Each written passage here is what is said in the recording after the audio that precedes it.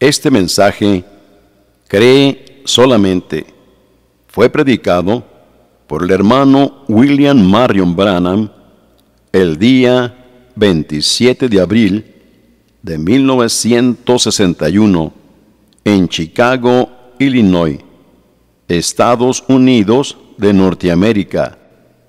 Escuche usted la interpretación al castellano.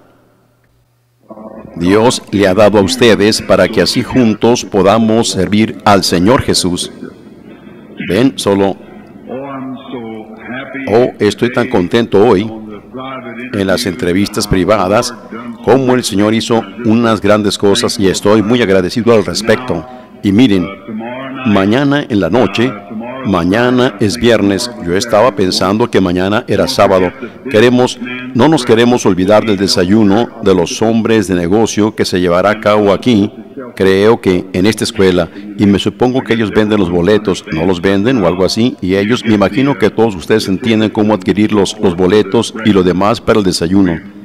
Estaríamos contentos si ustedes pudieran venir y ver si se sienten guiados a venir.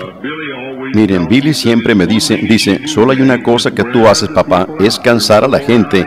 Ya está cansada de por sí, dice, ha estado sentado allí por horas, tú predicas muy extenso. Y yo dije, bueno, hijo, lo voy a tratar de hacer en la reunión de Chicago.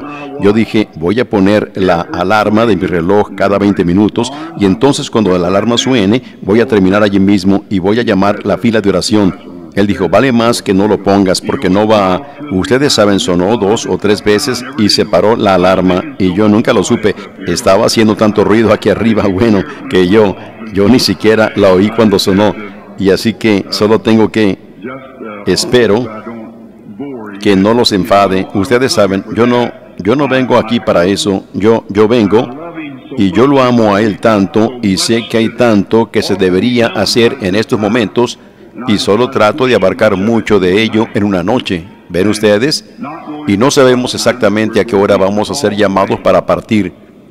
Y entonces yo pienso, bueno, yo no sé a qué hora voy a ser llamado para partir y ninguno de nosotros sabe eso. Y así que vale más que hagamos lo que podamos mientras lo podamos hacer, ¿correcto? Oí a mi madre, yo nunca estuve en un baile en mi vida. Pero yo oí, solo estuve en un, baile santo en una ocasión en la iglesia. Nunca se me olvida eso. Cuando todavía éramos una iglesia bautista, yo siempre como que lo criticaba en mi corazón.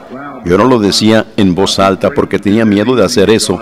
Todo lo que Dios hace, yo siempre como que pensaba que era raro verlo. Cuando vi cuando primero me familiaricé con la gente pentecostal, al verla danzar, ustedes saben danzar alrededor, yo pensé, mira, tú sabes, eso no está en la Biblia. ¿Cuál, ¿Cuál es la razón que están danzando? Y entonces una noche yo estaba enseñando de un diagrama sobre Daniel y Apocalipsis. Fue una noche de Año Nuevo. Yo iba a enseñar en el diagrama hasta la medianoche. No era un diagrama, sino como un pizarrón en el que yo estaba enseñando. Y había allí gente pentecostal que había venido de Louisville. Ellas tenían una, oh, eran algunas hermanas. Una hermana pastoreaba una iglesia allí y ella tenía un, ellas tenían tablas para lavar y dedales y, y toda clase de cositas con las cuales hacer ruido y, y, todas ellas armonizaban de alguna manera. Yo no sé lo que era y ellas y ella empezó a tocar el piano y todas esas muchachas allá arriba empezaron a golpear con esos dedales en las tablas para lavar y cosas así y, y ellas ellas empezaron a tocar esa alabanza. Habrá en el aire un encuentro con Jesús en el dulce hogar más allá. O algún. Bueno, esa muchachita que estaba tocando, la damita pastora, sencillamente se tornó blanca. Oh, como una tiza. Y ella empezó a tocar de una manera tal, yo no sé, yo nunca vi a alguien tocarlo igual en mi vida. Y pensé, ¿y ahora qué es eso? Y entonces una que estaba tocando la tabla para lavar, ella empezó a hacer la misma cosa. Luego allí se levantaron dos o tres y una pelirrubia empezó a danzar allí en el piso. Yo pensé, oh, qué barbaridad. De punta a punta en el piso tan intensamente como podía, estaba solo danzando sin parar de esa manera. Una muchachita como de 16, 18 años, yo mismo solo era un jovencito. Y yo, mira, ¿no es eso algo tremendo? Aquí mismo en mi iglesia. ¿Cómo voy a explicar eso? ¿Ven? y observándola de esa manera. Y yo pensé, ¿para qué hacen ellas eso? ¿Por qué tienen ellas que hacer eso? ¿Por qué no pudieron haber solo tocado su música y seguido adelante y dejarlo todo en paz? Yo pensé, bueno, eso es terrible. Empecé a pensar, mira, ¿hay en la Biblia tal cosa como danzar?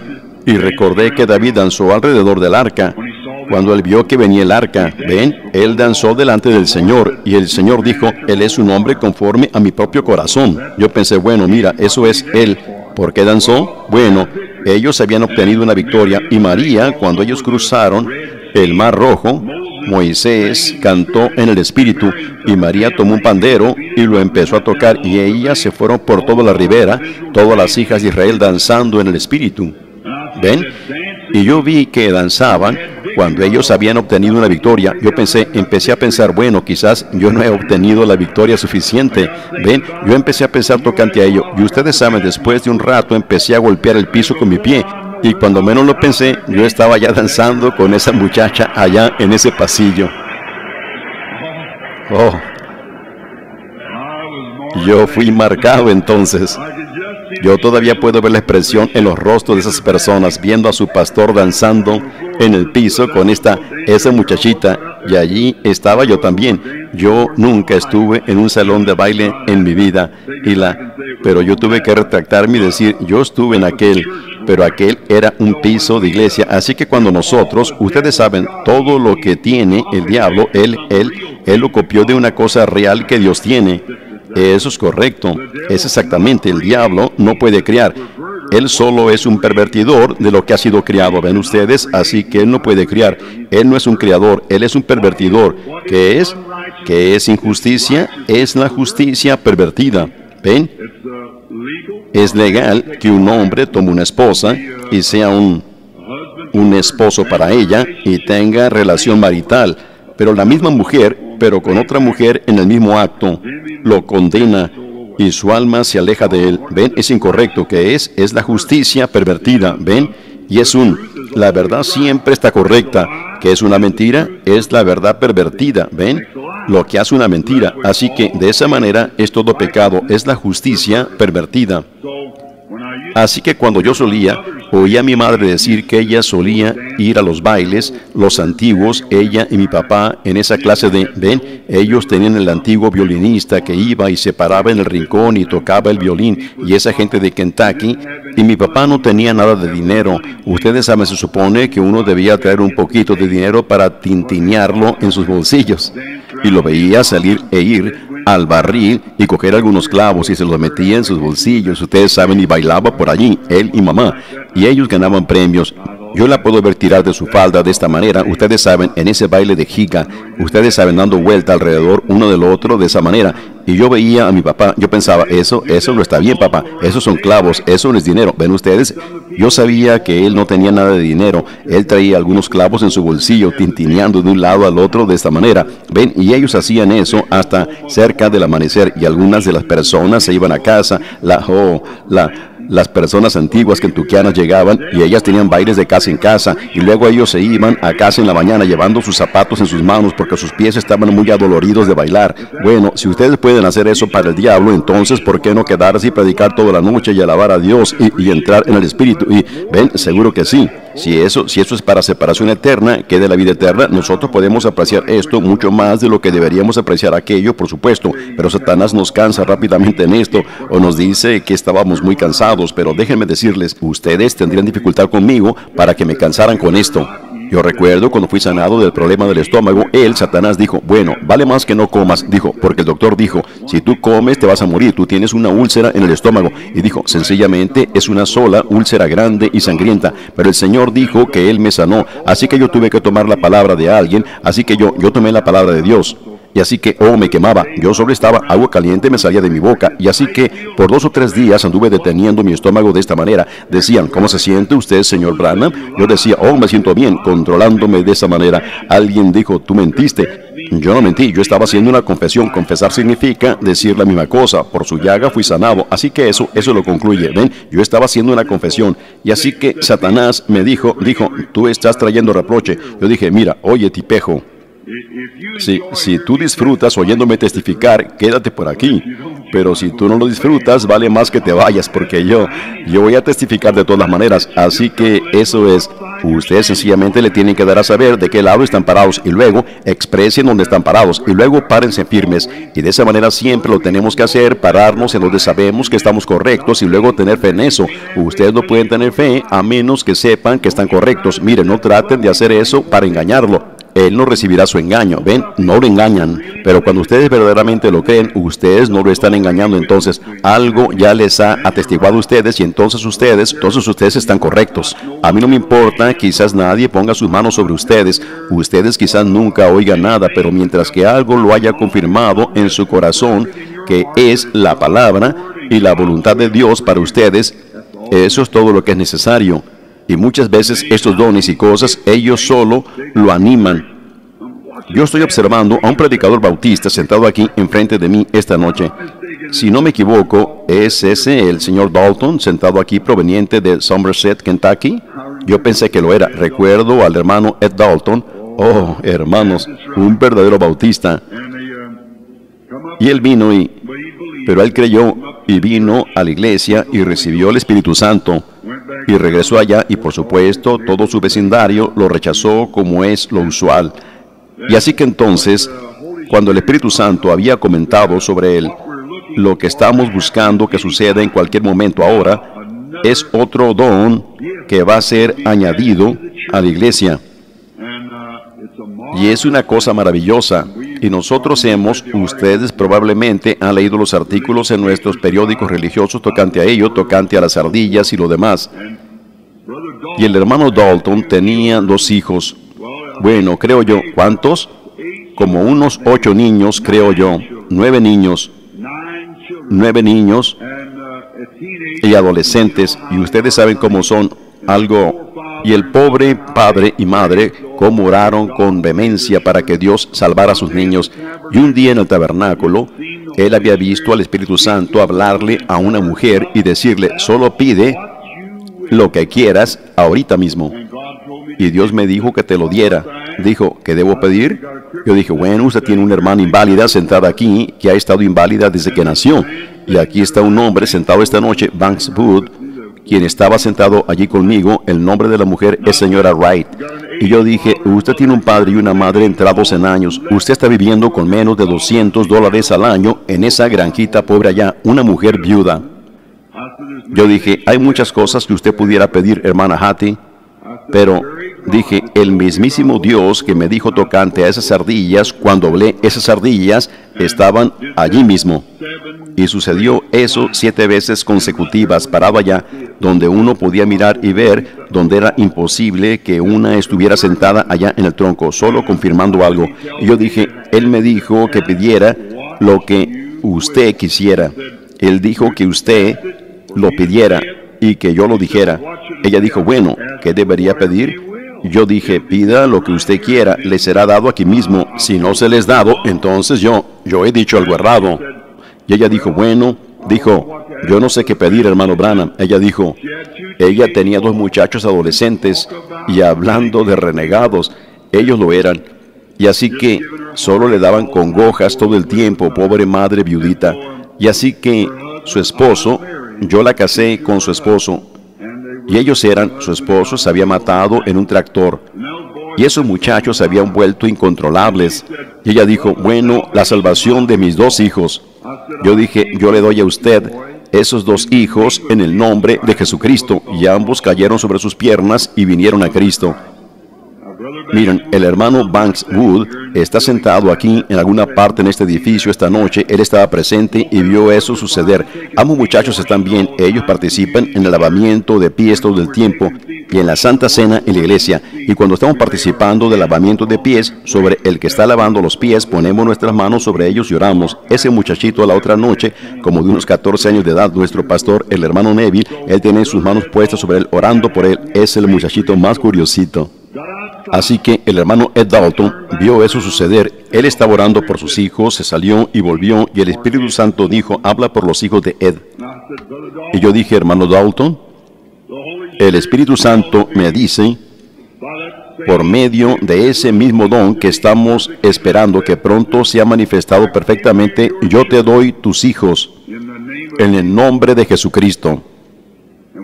Y cuando él llegó allá a casa, su hija y su hijo ya le habían dado sus corazones a Cristo. Vive solo a unas cuantas millas en la región al sur de mí, y yo pienso que todos sus niños están salvos y llenos con el Espíritu Santo. ¿Y es correcto eso, hermano Dalton? ¿Está alguno de ellos con usted? Una hija. ¿Fue la que fue salva inmediatamente después? La hija mayor fue salva a la mañana siguiente y todos sus hijos están ahora salvos. Como el Espíritu Santo, cuando Dios dice algo, Él cumple su palabra. ¿Ven? Miren, ¿cómo pudiera yo haber salvado a esos niños? ¿Ven? No, no es, si no son sus propias palabras, si no es su propio pensar, entonces proviene de, de lo que lo está inspirando a usted. Y si es Dios, entonces es la palabra de Dios, ven. Así que de esa manera es en, en, las reuniones aquí de cada noche. Cuando ustedes ven esas cosas sucediendo, ese no soy yo. Yo no pudiera hacer eso. Es, es Dios haciendo eso. Y si ustedes solo lo creen, entonces eso es todo lo que ustedes tienen que hacer. Es solo, es solo creerlo. Miren, bueno, es casi tiempo para llamar la fila de oración, Billy. Tomo mucho tiempo. Pero ¿saben qué? Quiero, quiero hacer una una cita con toda la gente de aquí de Chicago. Y ese, ese hermano que canta aquí cada noche, el hermano Melvin, cómo me gusta oír a ese hermano cantar. Yo, yo lo quiero oír cantar, recuérdame, una de estas noches antes que me vaya. Y luego hay una hermana de color que canta en las reuniones de los hombres cristianos de negocio. Oh, hermanos, ustedes, ustedes la deberían oír cantar Barco a la Vista. Y le dije a mi esposa, ella está sentada allá atrás esta noche, le dije que espero que ella logre oír a esa dama cantar Barco a la vista y al hermano Melvin cantar Recuérdame cuando las lágrimas estén cayendo. Oh hermanos, yo ciertamente espero que oigamos estas. Y había un hermanito allá en aquella reunión la otra mañana. Él está sentado por aquí en alguna parte. Yo estoy Jesús. Ahí está.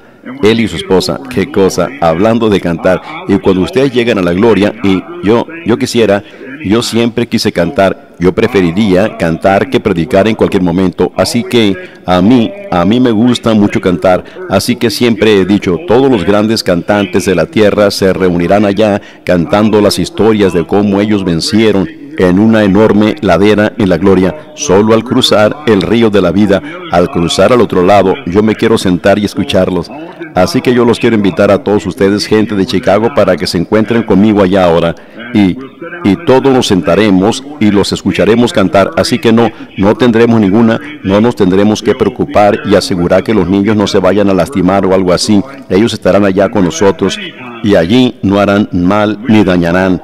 Y tendremos mucho tiempo entonces y hablaremos un largo tiempo. Tendremos bastante tiempo para hablar. Miren, yo tengo varias escrituras a las que me quiero referir. Yo tengo algunas escritas aquí y algunas páginas aquí. Y quiero empezar esta noche y leer primero una escritura que se encuentra en San Lucas 8:50 para un, un texto.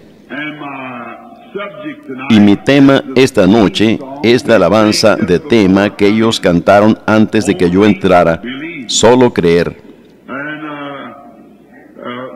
En San Lucas, el capítulo 8 y el versículo 50. Oyéndolo Jesús, le respondió, no temas, cree solamente y será salva. Inclinemos nuestros rostros solo por un momento para orar. Misericordioso Dios, quien trajo de nuevo al Señor Jesús, tu Hijo, de entre los muertos, y nos lo has presentado después de dos mil años. Lo vemos día tras día y noche tras noche en su cuerpo invisible, obrando en el cuerpo visible de su iglesia, manifestando sus palabras.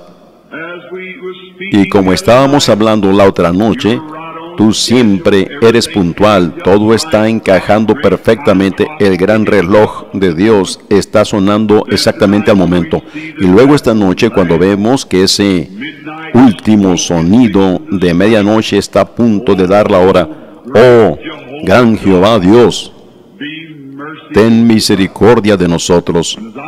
Y cuando pienso en esta noche que aquí delante de mí tengo la atención de la compra de tu sangre por los 30 o 40 minutos que siguen, ¿qué debo decir, oh Dios?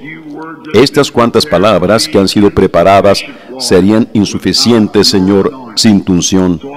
Así que te pido que esta noche tú unjas las palabras de este texto y que encuentren su lugar de reposo y provean para nosotros exactamente de lo que tenemos necesidad para estar preparados para esa hora, cuando Jesús venga.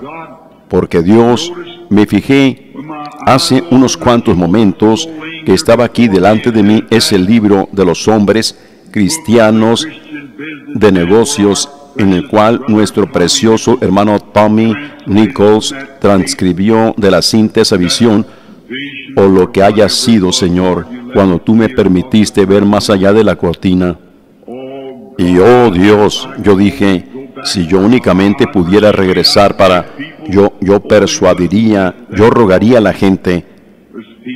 Oh, ellos no deben perderse eso, Señor. Hay gente aquí que ha compartido su sustento conmigo, conmigo y mis hijos, y entre ellos y sus hijos. Te pido, Dios, que de una manera u otra algo se ha dicho esta noche para que que podamos compartir a Cristo entre nosotros esta noche, para que Él sea el Salvador de todos nosotros y el sanador de todos nosotros y nuestro Rey venidero, y que esa esperanza permanezca aquí en nuestros corazones, que vivamos eternamente con Él, allá en aquella tierra donde no hay enfermedades. Yo pienso en esas mujeres, como en una ocasión las conocimos aquí como mujeres ancianas de 90 años de edad y allá eran jóvenes y hermosas, y esos hombres canosos aquí en la tierra, allá ellos eran jóvenes y en su juventud por la eternidad. Dios, no podemos permitir que perdamos eso. Concede, Señor, esta noche que todas y cada una de las personas tome un nuevo agarre esta noche. Bendice a los santos y sana a los enfermos, porque nosotros mismos nos encomendamos con este texto en el nombre de Jesucristo para tu gloria. Amén.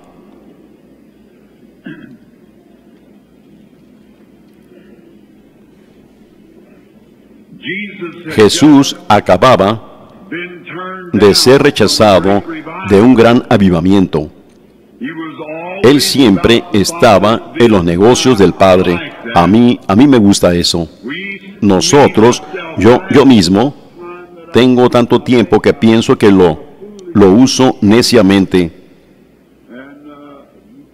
Y todos nosotros nos sentimos de esa manera y nos llenamos tanto de tensión al grado que tenemos que ir a alguna parte y relajarnos. Pero nosotros siempre hemos encontrado a Jesús en los negocios del Padre. Yo amo eso. Y de esa manera deberíamos ser nosotros. Nunca deberíamos estar ociosos concerniente a nuestro tiempo. El tiempo que tenemos lo debemos emplear para y, y conservar el tiempo, redimirlo, porque es precioso. Cada vez que tengamos una oportunidad de decir algo a favor de Jesús, hagámoslo. Cada vez que podamos decir algo a favor de Dios, hagámoslo. Hagan algo por la iglesia y para el mejoramiento de la gente. Mucha gente, de esa manera llegamos a saber estas cosas, es por lo que alguien nos ha dicho. Y Jesús había partido de Galilea, de la región de la cual provenía, y cruzó al otro lado del mar, sin duda sintiendo ser guiado de ir a Gadara para un avivamiento.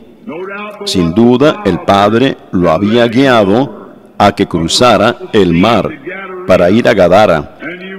Y todos sabemos la historia que únicamente hubo una sola persona que fue salvada. Esa fue un maníaco en Gadara. Y él estaba allá en los campos y en el cementerio. Él se había vuelto indómito y ellos lo pusieron en cadenas y el poder demoníaco podía romper las cadenas y, y, yo he pensado con frecuencia recorriendo los hospitales para dementes y observando a una persona que ha sido poseída con esos poderes diabólicos de cuán fuertes son. Algunas veces se requiere a algunos policías para que los sujeten. Recuerdo allí en la Florida que una noche un, un, hombre que no ha de haber pesado más de 120 libras le pegó a cinco policías tan fácil como usted le pega a su niño. Y, y, entonces cuando ese espíritu malo salió de él, bueno, casi no había nada de eso. Él era tan manso como podía ser, pero era un espíritu malo. Y yo pensé, si un hombre poseído con un espíritu malo podía romper cadenas, ¿qué pudiera hacer él si estuviera completamente rendido a Dios con el poder de Dios, poseyéndolo de esa manera? Él pudiera enderezar toda pierna inválida y hacer grandes cosas si él sencillamente pudiera estar tan ungido con el poder de Dios, así como el demonio pudo tomar completamente control de él.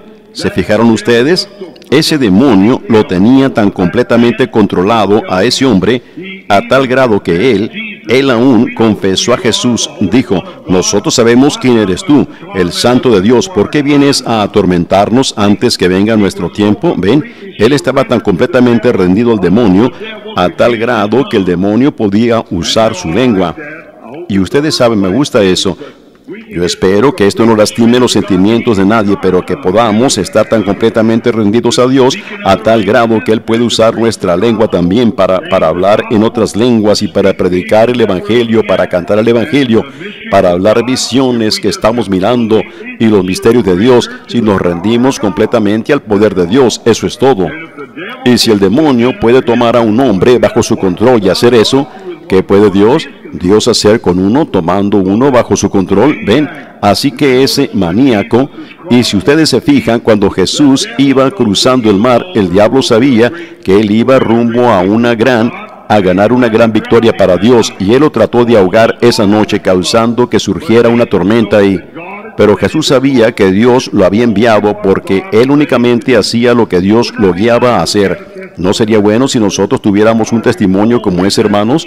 Yo hago únicamente lo que le agrada a Dios. ¿No sería eso maravilloso? Como Enoch, que caminó con Dios 500 años y tenía un testimonio que él agradó a Dios. Él no tuvo que morir, sino que solo subió.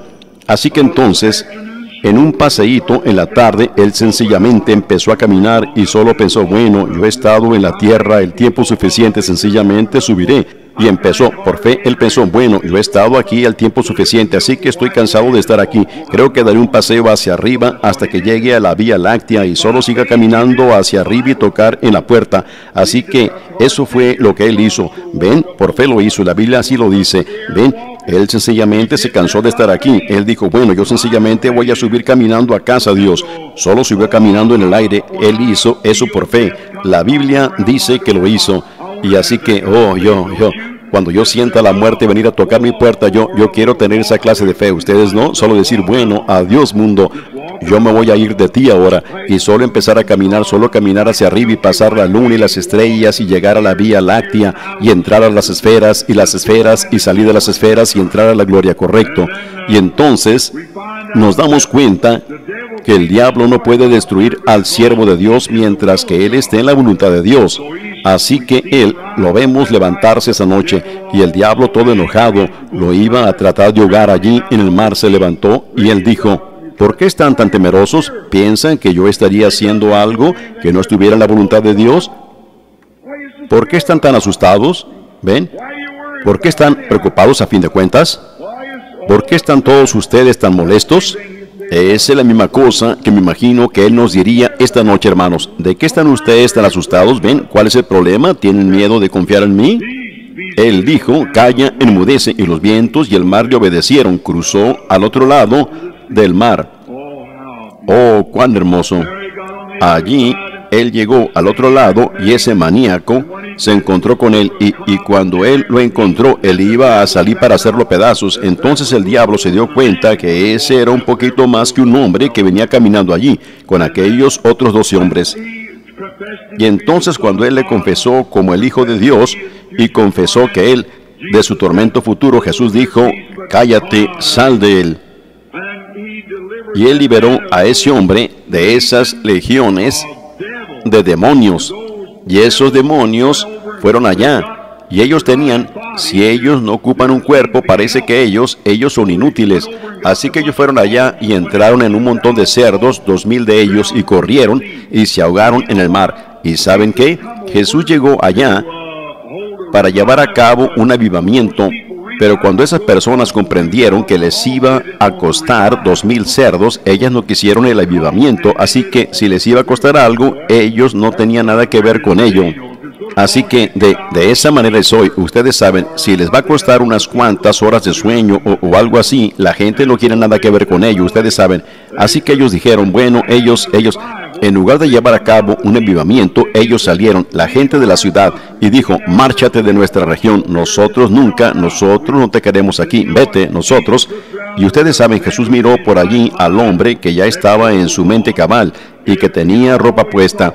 Sí, ustedes saben, yo siempre pensaba de eso, es mejor que no empiece con eso. Sí, si ustedes ven, ese hombre se empezó a poner ropa cuando se encontró con Jesús.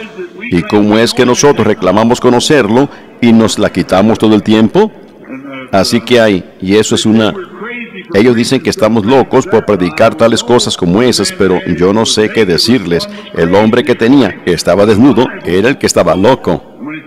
De acuerdo a la Biblia. Así que cuando él se encontró con Jesús, se puso su ropa otra vez. Así que, así que nos damos cuenta que yo con frecuencia me he preguntado, cuando llegue al cielo, quiero encontrar a ese hombre y yo, yo quiero ir a saludarlo. Jesús no le permitió seguirlo. Él dijo, vuélvete y cuenta a la gente allí lo que te ha sucedido.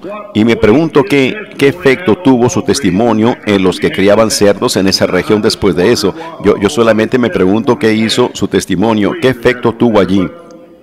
Pero ellos no lo quisieron a él. Así que yo diré una cosa, si ustedes no lo quieren, él no los aburrirá a ustedes con su presencia. No, no. Él no se impondrá en ustedes. Él nunca hizo eso. Él toca. Ustedes están adentro. Ustedes son los que abren la puerta. Pero Él tocará. Él les dará a ustedes la oportunidad. Así que entonces, oh, ellos dijeron, no te queremos. No nos importa a cuántos tú puedas liberar. ¿Y cómo? ¿Qué? ¿O quién te envió aquí? Si Dios te envió aquí, ¿Qué tiene que ver eso? Sencillamente no queremos nada de esa clase de cosa aconteciendo aquí, por aquí, en nuestra... Tú pones a nuestra gente toda confusa, así que regrésate a donde tú perteneces. Él dijo, muy bien, él se regresó y se subió a la barca.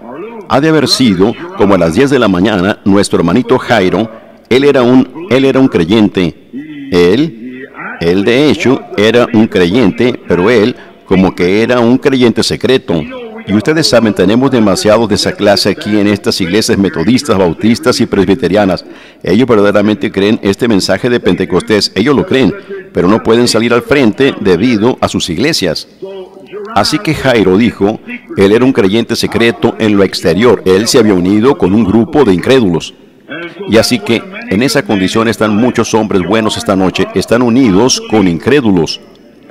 Y la Biblia dice, no os unáis en yugo desigual, no te unas con incrédulos.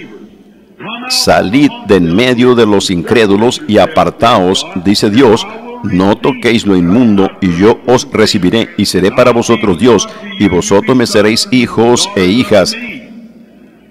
Así que Jairo, como muchos hoy, se había unido a una organización de la cual él sencillamente no se podía separar, porque tenía un nombre respetable, tal vez llamémoslo el doctor Jairo. ¿Ven? Él era un, tenía un gran nombre de doctor, quizás que lo acompañaba. Él era un sacerdote y él, es un, él era un pastor de una gran sinagoga. Pero en su corazón él había seguido a Jesús de Nazaret y había observado esos milagros. Él se iba a casa y estudiaba y escudriñaba las escrituras y él decía, eso es exactamente correcto. Pensemos que él estaba parado allí ese día cuando Simón llegó. Él fue allá para oír predicar a Juan y él había oído tocante a, lo oyó anunciar a Jesús y vio esa luz que descendió allí sobre él y se sentó sobre él. Y él vio esa misma luz que estaba sobre él y decirle a ese pescador, bueno, tu nombre es Simón y tú eres el hijo de Jonás. Quizás ese hombre, ustedes saben, su padre quizás había sido un miembro de la sinagoga de Jairo. Y él dijo, yo sé que ese hombre no lo conocía. Y yo me fui a casa y escudriñé eso en la escritura y me di cuenta que esa era la señal del Mesías. Y entonces mientras yo estaba parado allí, y yo, yo estaba parado allá al otro lado, por supuesto, con los sacerdotes y con mis hermanos, y estaba escuchando para ver lo que yo le podía oír decir. Y los hermanos, ellos dijeron, ¿qué vamos a hacer cuando regresemos? Cuando Felipe llegó con Natanael y ese Jesús parado allí, le dijo a Natanael quién era él y en dónde lo había encontrado Felipe y todo lo demás de esa manera. Y vimos que Natanael, él quizás estaba estudiando para ser un predicador y él dijo, bueno, Rabí, tú eres el Hijo de Dios, el Rey de Israel. Él dijo, ¿crees tú porque te dije eso? Y él quizás estaba presente allí también para lograr oír a la mujer del pozo y, y estaba parado a la puerta en aquella ocasión cuando Bartimeo el ciego estaba allí clamando, Jesús, hijo de David, ten misericordia de mí. Él no lo pudo haber tocado. Si ustedes van a, si ustedes alguna vez estuvieron en el lugar, ellos marcaron en donde Bartimeo estaba sentado y en donde Jesús estaba cuando Bartimeo lo llamó. Oh, hermanos, Toda esa chusma dando gritos diciendo, oye, ellos me dicen que resucitas a los muertos, tenemos un cementerio lleno de ellos aquí, ven y resucita a alguno de ellos y te creeremos. Ven, ¿cómo podía él haber oído con toda? Pero la fe de él lo tocó. Al igual que el pequeño saqueo del cual les hablé a los hombres cristianos de negocios sentado en el árbol de esa manera, se decía a sí mismo, mira, Rebeca me dijo que él, él sabía todas las cosas y podía, que Dios hablaba por medio de él y que él era el Mesías, así que tiraré de todas estas ramas y las pondré alrededor de mí, y, él nunca sabrá que estoy sentado aquí arriba. Así que cuando Jesús se detuvo allí, debajo del árbol, miró hacia arriba y dijo, Saqueo, desciende, voy a casa contigo. Así que quizás él estaba ahí aquella mañana para ver eso. De cualquier manera que haya sido, él creyó por medio de las escrituras que ese era el Mesías. Y, pero todavía él no podía hacer una confesión debido a que la, la asociación ministerial de Gadara había dicho esto. Si alguna vez alguien asiste a uno de esos avivamientos que lleva a cabo allá ese profeta de Galilea, lo excomulgaremos en ese momento de la iglesia. Así que, bueno, él tenía, él tenía el oficio de pastor y él tenía una numerosa congregación, un grupo amable de personas y, él sabía que amaba al Señor, pero dentro de su corazón él sabía que había algo más que debería ser añadido. Oh, saqueo. Espero que esté sentado aquí esta noche y que no se levante y se vaya hasta que esto se termine. Solo quédese quieto por un momento. Y allí estaba él, ustedes saben, allí, y creyendo eso, se iba a casa y con una pequeña luz de vela estudiaba toda la noche cuando asistía a una de esas reuniones y escuchaba, quizás se disfrazaba y se ponía un velo sobre su rostro o algo así, para que así no fuera reconocido como el doctor Zack, o mejor dicho, el doctor Jairo. Ustedes saben, oh, él sencillamente no quería ser reconocido entre la multitud, pero sin embargo él estaba presente allí. Y él observaba eso y lo estudiaba, sin embargo, él no podía confesarlo a él abierta y públicamente porque tendría que renunciar a su asociación ministerial y su compañerismo con sus hermanos. Y esa era la razón que todos ellos juntos corrieron a Jesús de Gadara y lo regresaron a su propia región en su propia región habían hecho la misma cosa y todos los que se unían con ese así llamado profeta de Galilea, bueno, tenían que ser excomulgados. Pero ustedes saben, Dios tiene una manera de sacar esa verdadera fe genuina que está dentro de nosotros. Dios tiene maneras peculiares de hacerlo. Y así que, digamos que una noche, su niñita había entrado y ahí estaba. Él tenía una sola hijita como de 12 años de edad y él se estaba envejeciendo, y esa era la única hija que tenían él y su esposa.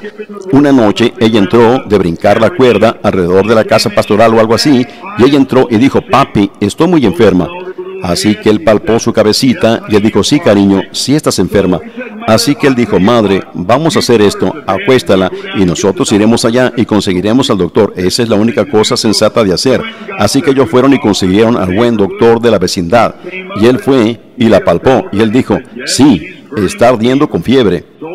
Así que él la atendió por dos o tres días y se dio cuenta que la fiebre empeoró. Y yo llegó a tal punto que se puso tan caliente a tal grado que él se estaba poniendo. El doctor se preocupó al respecto, así que él trató todas las hierbas y todos los remedios que él conocía para tratar de ayudar a esa niñita, pero él, él no la podía mejorar, sencillamente no le podía quitar la fiebre. Así que entonces, Una mañana, como a las nueve, bueno, él había llegado a visitar a la niñita después de haber estado despierto casi toda la noche y toda la gente amorosa de la iglesia se había reunido allí y todos los pastores asociados y algunos de los clérigos visitantes y el presbítero de distrito y todos ellos estaban allí juntos, ustedes saben, para, para ofrecer oraciones y los demás por la niña. Y así que el doctor entró a la habitación y examinó a la niñita, le tomó su pulso y oh, la fiebre estaba incontrolable. La niñita estaba más allá de, estaba ya fuera de sí. Así que él supo que el fin estaba cerca. A él le pesaba decirle al pastor, tal vez él asistía a la iglesia de él. Así que él lo llamó afuera, al lado, y dijo, mire Jairo, se lo quiero decir aquí, para que la hermana no lo oiga.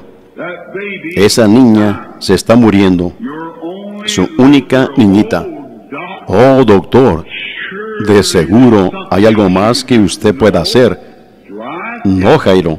Sí, si usted quiere llamar a otro doctor para consultar el caso, bueno, está bien. Pero de acuerdo a mi entendimiento médico, la muerte está sobre la niña ahorita, porque ella está a punto de morir y ella probablemente no durará otra hora o dos más. El buen doctor le estaba diciendo todo lo que él sabía que era la verdad. Y dijo, doctor, ¿me aconsejaría usted conseguir otro doctor? Dijo, usted lo puede hacer. Pero él dijo, yo no conozco otro doctor. Sabemos que había un doctor al cruzar de la... Allí, llamado Lucas, el doctor Lucas. Pero usted sabe, él, él se convirtió. Oh, no vamos a... Lucas se ha vuelto loco, ¿ven? Él está siguiendo a ese profeta Galileo. No. Oh, eso lo hizo recordar. Sí, doctor. Bueno, gracias. ¿Cuánto le debo, doctor? Oh, bueno, yo. Está bien, usted no me debe nada. Él era un hombre fino. Ven, está bien predicado. Yo sé que usted no gana mucho dinero, así que no se preocupe. Bueno, muchísimas gracias por su amabilidad. ¿Qué es lo que él va a hacer ahora? Él se regresa de la puerta y dice para sí mismo, mira, yo entraré allá a la casa, a la casa pastoral, ¿y qué? ¿Cómo le voy a decir a mi esposa que la niña está a punto de morir? Y yo he guardado el secreto de ella todo el tiempo que verdaderamente creo que Jesús es ese verdadero profeta que va a venir. Pero mira, ¿cómo lo haré? Y allí está el presbítero de distrito y todo el resto de la asociación ministerial sentados por allí en la casa. ¿Y cómo podré? Y me pregunto, ¿dónde está él? Así que él entra de nuevo a la habitación y empieza a pensar. Y ustedes saben, cuando menos piensa, él llama a su esposa. Él dice, querida, entra y siéntate un momento. Él pone sus manos, dice, mira, hay algo de lo cual te quiero hablar. Madre, lo primero que quiero decir es esto. ¿Recuerdas cómo me he quedado levantado aquí en la noche con esta luz de velas leyendo las escrituras? Sí, sí, Jairo. Yo, yo, yo sé que te has quedado levantado aquí leyendo. Y he venido, no habiendo estado en casa por dos o tres días a la vez, diciéndote que yo estaba en los negocios del maestro. Sí, yo recuerdo todo eso. Bueno, yo he guardado esto de ti. Pero te quiero decir algo. ¿Sabes en dónde estaba? Bueno, ¿en dónde estabas, querido? Yo estaba asistiendo a esas reuniones de Jesús de Nazaret, ese profeta Galileo. Yo estaba asistiendo. Oh, ella dijo, eso no es un secreto para mí. Yo estaba leyendo las notas que tú tomabas de sus sermones, ¿ves? Cuando yo limpiaba el cuarto, encontraba el bote de basura lleno de ellas, ¿ves? Y yo leía donde tú habías estado escudriñando las escrituras. Oh, sí, sí. Bueno, déjame decirte, ¿sabes qué? Yo verdaderamente creo que ese es el Mesías. Bueno, ella dijo, cariño, hasta ahora estás listo para confesarlo, yo lo he querido todo el tiempo. Ahora él está listo. Él ahora le puede decir a ella lo que dijo, ¿sabes qué? Dijo, cariño, el doctor me acaba de decir algo. ¿Qué? ¿Nuestra hija se va a mejorar? No, ella se está muriendo. Oh, Jairo, oh, oh, seguramente que no. Sí, sí, ella, ella, ella se está muriendo. Pero me pregunto, ¿en dónde está Jesús de Nazaret? Tú sabes, él, él se fue y cruzó el mar hace unos días. Y él se ha ido y yo, yo me pregunto en dónde está, si únicamente lo pudiéramos encontrar. Bueno, bueno, vale más que salgamos al frente y confesemos nuestra fe. Bueno, él salió ante la toda la gente y dijo, bueno, yo tengo que anunciar algo. El doctor me acaba de decir que mi hija se está muriendo, mi única niña de 12 años de edad se está muriendo. Y así que él les dijo y todos ellos empezaron a lamentar y a llorar y siguieron así. Él dijo, miren, esperen, esa no es nuestra última esperanza, esperen un momento. Oh, yo veo su carita enrojeciéndose. Miró al presbítero del distrito y al obispo y a todos ellos sentados alrededor. Ustedes saben, ¿y qué va a hacer él? Pero dice, nosotros tenemos otra esperanza. Y yo puedo oír al obispo levantarse y decir, ah, ¿tú quieres consultar a otro doctor? Bueno, no, no exactamente eso. Pero yo tengo algo y su corazón empezó a latir muy rápido. Ustedes saben, lo podrá decir él. Él tartamudeó un poquitito y puedo oír a su esposa decir, sigue, diles, diles, diles. Bueno, hermanos, yo sé que esto quizás los alarme solo un poquitito, pero yo sí creo que Jesucristo es el Hijo de Dios. Yo, yo creo que Él, ese profeta Galileo, es el Mesías. Yo he, bueno, yo puedo ver al obispo levantarse y al presbítero de distrito y a todos los dignatarios y decir, pero Jairo, ¡Qué barbaridad! No me digas que tú has hecho lo que Lucas y el resto de ellos hicieron. Sí, yo creo en él. Yo lo creo en verdad. ¿Por qué? ¿Por qué? Porque él tenía una necesidad. Dios tiene una manera de ponerlo usted en un aprieto de tal manera que lo forzará a que salga al frente con esa fe, sencillamente sacarle al frente a pesar de todo. Sí, Señor. Miren, yo lo puedo oír decir, ¿sabe alguien en dónde está Él? Un hombrecito dijo, sí, yo, yo estaba enfermo el otro día y yo, yo fui allá para ver al doctor Lucas y Lucas estaba con él y él, él estaba allá en Gadara y ellos, yo oí por medio de un mensajero que ellos iban a llegar hoy. Se supone que ellos llegan esta mañana allá al desembarcadero. Yo puedo ver a Jairo ir y coger su sombrerito de sacerdote y ponérselo, ponerse su saco y salir. Yo puedo ir al presbítero de distrito, pararse a la puerta, decir, mira, oye jovencito, mira, tú has sido uno de nosotros por mucho tiempo. Mira, si tú vas a empezar tal cosa como esa y confundir nuestra congregación, traer tal fanatismo como ese en nuestro grupo, ¿sabes lo que va a suceder? Te vamos a excomulgar. Vamos a quitar tu nombre del libro. Eso es lo que haremos. Bueno, puedo oír su corazoncito amilanarse. Él miró a su esposa y ella estaba parada esperando oír lo que él iba a decir. Y miró allá y vio a su hijita muriéndose. Él dijo, vale más que lo quiten, porque ahí voy. Correcto, yo voy en camino. Él tenía una necesidad, estaba apresurado, él debía ir de inmediato. Ellos dijeron, recuerda, si tú vas, tú sabes lo que va a suceder, tú sabes nuestra declaración. Sí, yo entiendo todo eso, pero yo tengo una niña aquí muriéndose. Y la mismísima cosa que yo he escondido en mi corazón todo el tiempo, yo he escudriñado las escrituras, yo he asistido a sus reuniones disfrazado, y yo he examinado las escrituras, y Él sí es el Mesías. Amén. Eso es. Amén. Esa es la manera de hacerlo. Tú ahora estás llegando a ello, Jairo. Sal al frente y diles lo que es correcto, confiesa tu fe, entonces estás adquiriendo tu correcto en el sendero correcto, entonces no se mira sombrío. Oh, él dijo, la iglesia dijo, mira, recuerda que si tú lo haces, bueno, eso es lo que va a suceder. Pero Jairo tenía una necesidad, la necesidad. Y hermano, si alguna vez hubo un tiempo, hermanos, que deberíamos hacer nuestra confesión, que Él sí es el Mesías, el Hijo de Dios, que Él sí está vivo y que su poder es exactamente el mismo. Hay una necesidad hoy. Hoy es la hora. La gente se está muriendo. La gente se está muriendo en las iglesias. La gente está... La iglesia pentecostal se está muriendo. Se está poniendo muy formal. Se está alejando de Dios. Si hay un tiempo para salir al frente y decir, nos estamos muriendo, volvamos a Dios. Es ahorita porque hay una necesidad. Vuelvan a la fe que ha sido dada una vez a los santos. Yo sé que hay mucho fanatismo, yo comprendo eso. Como yo dije en el desayuno ministerial el otro día, ustedes no pueden culpar a los pastores, pero recuerden, cada vez que ustedes vean algo falso, un dólar falso, tengan la plena seguridad que es hecho de uno real.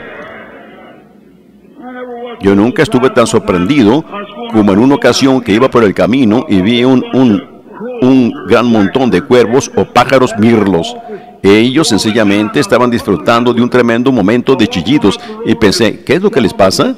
Me iba acercando por el camino y había allí, algunos de ellos estaban en los árboles y algunos en los postes de telégrafo y algunos estaban posados en cercas. Yo pensé, ¿qué es lo que les pasa a los pájaros? Había una parcela de fresas a lo largo del, del campo y el dueño de la parcela se había ido a la Florida para una vacación y él dejó esas fresas allí. No permitió que nadie las cosechara porque a él, a él le gustaba ver, él las mantuvo allí para los pájaros. A él le gustaba mucho observar a los pájaros y así que mientras él estaba en la Florida de vacaciones, bueno, alguien llegó allí y puso un espantapájaros grande en el campo y querían cosechar las fresas para ellos mismos y no permití que los pájaros se las comieran.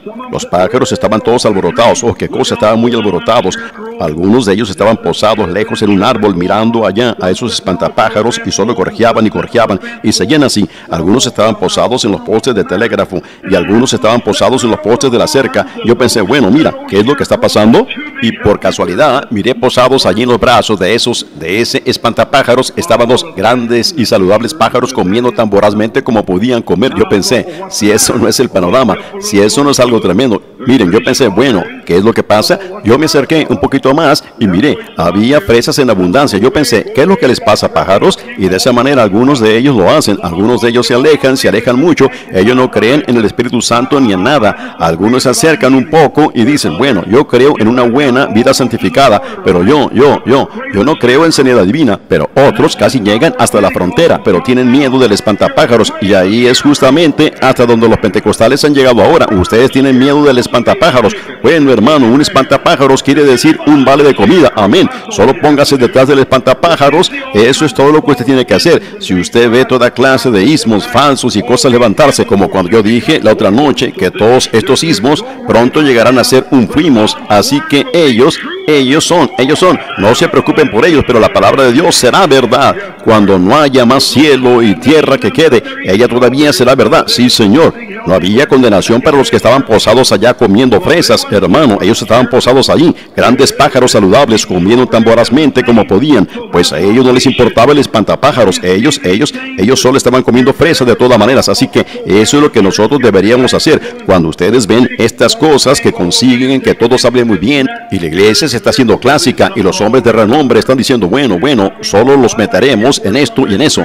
Vale más que tenga cuidado, hermano. Hay algo mal allí, en alguna parte hay algo mal. A mí me gusta estar en donde alguien es criticado y hacen burla de él y luego indagar y ver dónde, bueno, para examinarlo y ver de lo que se trata todo eso. Sí, señor, es un llamado para comer. Fíjense en lo que está detrás de ello. Recuerden, los palos siempre están bajo el árbol de manzanas buenas. Ellos no bajan con palos a esas manzanas duras, secas y amargas. De los días de los milagros ya pasaron. No hay nada por qué dar palos a eso. Solo déjenlos que sigan adelante. Pero Jairo tenía una necesidad y él tenía una necesidad porque su única hija se estaba muriendo.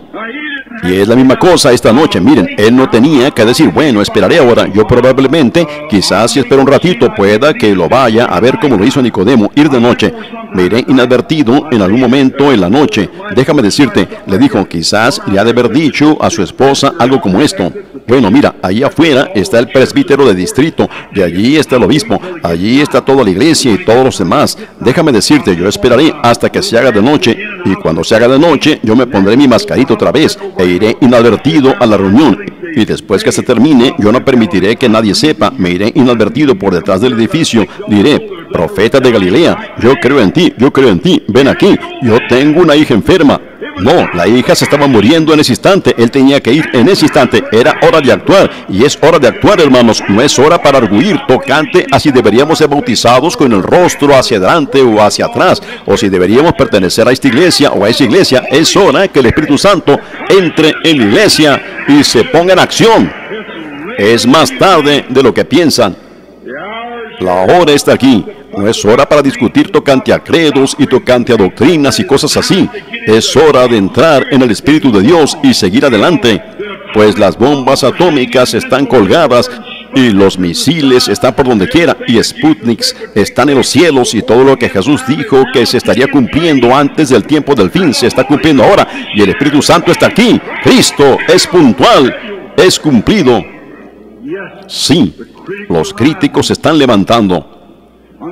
Yo voy a decir esto porque estaba En una ocasión pedí que no lo dejaran salir al público y cuando hicieron eso, el hermano se molestó mucho al respecto. Yo, miren, yo lo voy a decir porque está en cinta y así que nuestro hermano lo puede oír si él quiere conseguir esta cinta. Es concerniente al hermano David Duplessis, mi precioso hermano y amigo.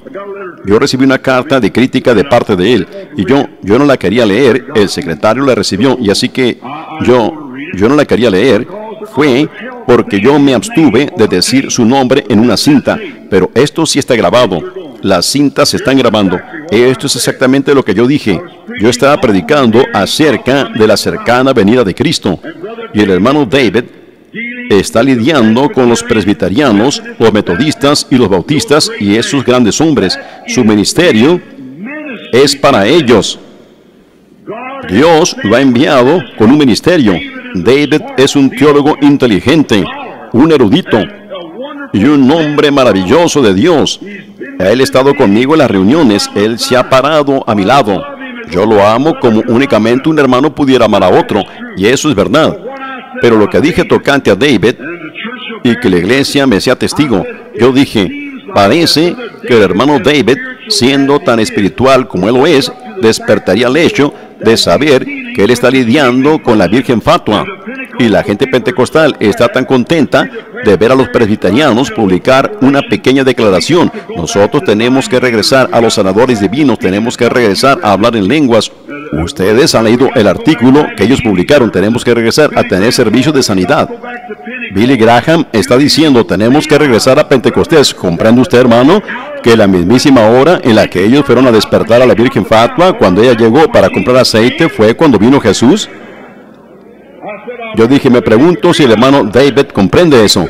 Él piensa que la iglesia pentecostal, ellos tenían la fotografía de ellos en el periódico el otro día con algunos sacerdotes católicos parados bendiciendo el desayuno de los hombres de negocio pentecostales o algo así, y cosas así, lo cual está bien. Pero me pregunto si la iglesia verdaderamente comprende lo que es eso. Es una señal.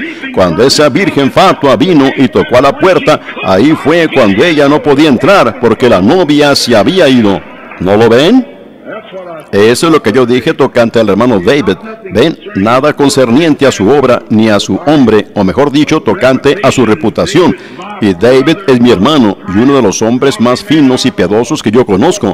Pero solo me preguntaba cómo es que él, él no captó eso para comprender que el mismísimo momento que ese mundo denominacional de afuera empiece a recibir este mensaje, esa es exactamente la hora en la que Él viene. Cuando ellas, cuando ellas fueron, la Virgen Fatua comprendió que ella no tenía aceite en su lámpara y cuando ella llegó para tocar a la puerta para obtenerlo, fue exactamente en ese momento cuando la novia se fue, cuando la Virgen Prudente se fue.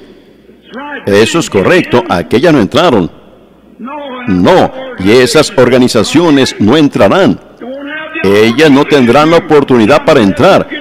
Para cuando el mensaje haya recorrido todo, la iglesia se habrá ido. Así que si ellas están tratando de entrar ahora mismo, ¿qué tan cerca estamos? Cuando vemos que como fue en los días de Sodoma, así será en la venida del Hijo del Hombre. En el último mensaje, Abraham y su simiente después de él, vemos que todo, todo está justo a tiempo. Tenemos necesidad. Es hora de actuar.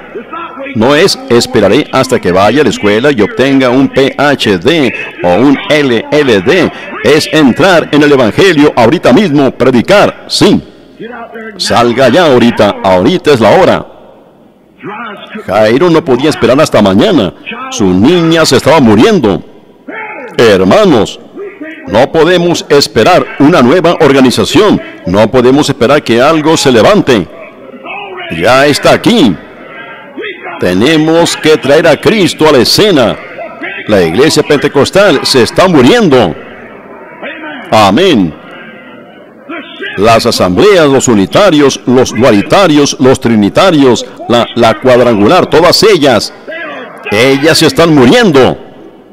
Dejemos esas cosas. Están bien, pero no. Dejen de discutir tocante a eso. Traigamos a Cristo a la escena. Así fue con Jairo. Tenía que traer a Cristo a la escena o su hija iba a morir. Él debía apresurarse, él tenía que entrar rápidamente en acción. Oh, yo amo eso. Entren en acción. Oh, si este grupo aquí esta noche, ustedes metodistas, ustedes bautistas, ustedes presbiterianos, ustedes pentecostales, unitarios, dualitarios, trinitarios y todos ustedes, si entraran rápidamente en acción, poniendo a un lado sus tradiciones y malicias, traigan a Cristo a la escena, abran su corazón, Él está aquí. Amén. Su barca acaba de llegar. Aleluya.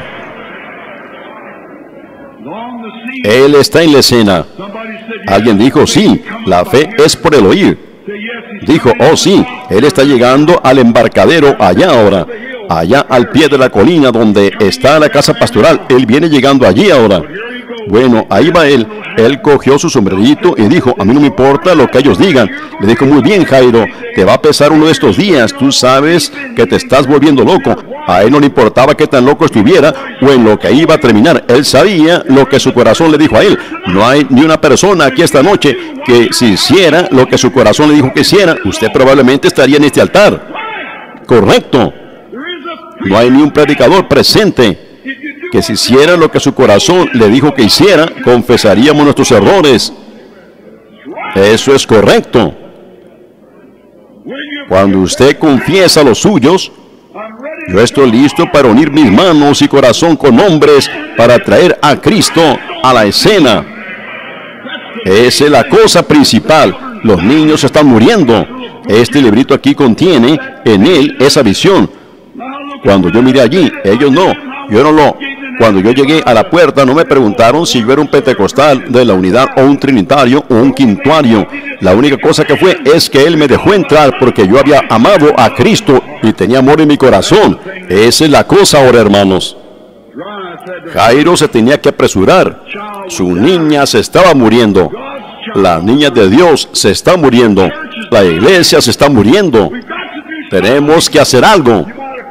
Ustedes quizás lo llamaron telepatía, ustedes quizás lo llamaron el diablo, ustedes quizás, yo no sé lo que ustedes lo llamaron, pero muy en lo profundo de su corazón, si ustedes creyeron que fuera verdad, hermano, vale más que guarde su sombrero eclesiástico en el rincón y que diga algo y se ponga en acción. Eso es correcto, la iglesia se está muriendo, necesitamos a Cristo en la escena, es tiempo para actuar.